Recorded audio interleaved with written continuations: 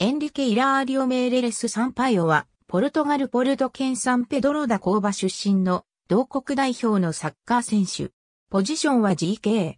単にイラーリオとしても知られている。ポルトガル・ポルト県のサンペドロダ工場に生まれたイラーリオは地元の FC ポルトのユースで育つもトップチームに昇格することなく、3部のアソシアソン、ナバルプリメーロでマイオと2部のアカデミカコインブラでプロキャリアを始めた。1996から97シーズンにビトール・バイーヤが FC バルセロナへ移籍したことに伴いポルトに復帰。同シーズンに18試合出場し、クラブのリーグ戦3連覇に貢献した。しかし、すぐに余剰戦力としてみなされ、B チームに落とされながら、さらに CFS トレラーマドーラ、バルジム SC、アカデミカコインブラ、CD ナショナルへ在籍中に4度も期限付き移籍に出された。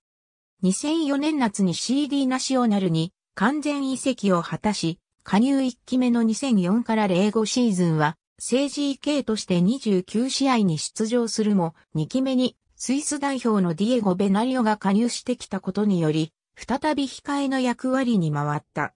チェルシー2003の04シーズンに、ポルトで短期ながらも指導を受けたジョゼ・モーリーニョ監督率いる、チェルシー FC と2006年1月に移籍。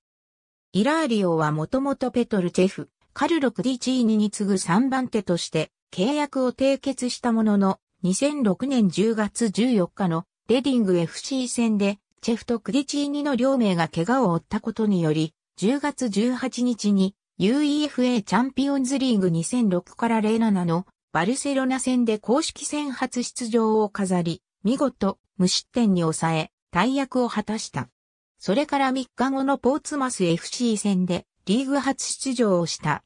加入1期目は公式戦で18試合8失点を記録。また、アウェーのシェフィールドユナイテッド戦で PK を止める活躍を見せた。2007年2月にチェフが復帰したことに伴い再び控えに回り、フットボールリーグカップ決勝のアーセナル FC 戦でベンチ入りをするも出番は訪れなかった。2期目は再びチェフとクディチーニに次ぐ3番手としてスタートを切ったが、E ウッドパークでのブラックバンドーバーズ FC 戦中にチェフが股関節を痛めたことで途中出場し、入荷するユナイテッド FC 戦とフラム FC 戦で先発起用された。2008年4月8日、UEFA チャンピオンズリーグ2007から08のフェネルバフチェスケートの準決勝、第2戦でクディチーニが怪我を負ったことで途中、出場している。同試合後に、ポルトガルの新聞は、イラーリオがポルトガル代表に招集される可能性があることを示唆した。2009年1月26日に、クディチーニがトッテナムホットスパー FC へ移籍したことで、イラーリオは2番手に浮上し、リース・テイラーがトップチームに昇格した。その後、チェフが怪我をしたことで、ハルシティ AFC 戦で2008から09シーズン初出場を果たした。また、エバートン FC との FA カップ決勝でベンチ入りするも出番はなかった。9月26日のウィガンアスレティック FC 戦でチェフがウーゴ・ロダジェガに対するタックルで一発退場したため、フローラン・マルダに代わり後半から出場するも2得点を許し敗戦。チェフの出場停止により、続く10月4日のリバプール FC 戦で先発起用されると無失点に抑え、同試合の最優秀選手に選出された。2010年2月24日に UEFA チャンピオンズリーグ2009から10ベスト16の FC インテルナツィオナーレミラノとの第一戦でチェフが怪我をしたことにより後半から出場し、残り30分を無失点に抑えた。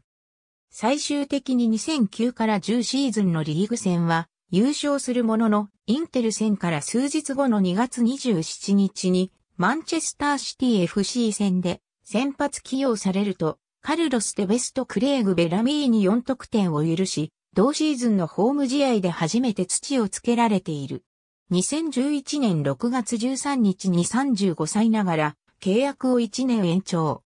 2011から12シーズンは同胞のアンドレ・ビラス・ボアス監督が就任したことに続いてチェフがシーズン前に膝を怪我したことの影響から、ロスターンブルを抑え2試合に連続出場し、合計に失点するも各試合で勝利を収めた。2012から13シーズン終了に伴い、他4名の選手と共に放出された。だが8月1日、チェルシーと1年間の再契約を結んだ。34歳ながらもイラーリオは2009年11月8日にボスニア・ヘルツェゴビナとの 2010FIFA ワールドカップヨーロッパ予選プレーオフへ向けてエドワルドの控えとしてポルトガル代表に初招集された。ルイ・パトリシオ、ジョゼ・モレーラ、ダニエル・フェルナンデス、ベットとも同様の役割を試みた。同試合の出場機会は訪れなかったものの、2010年3月3日の中国との親善試合で、エドワルドに代わり後半から初出場を飾った。最終的に 2010FIFA ワールドカップのメンバー23名に選出されなかった。ありがとうございます。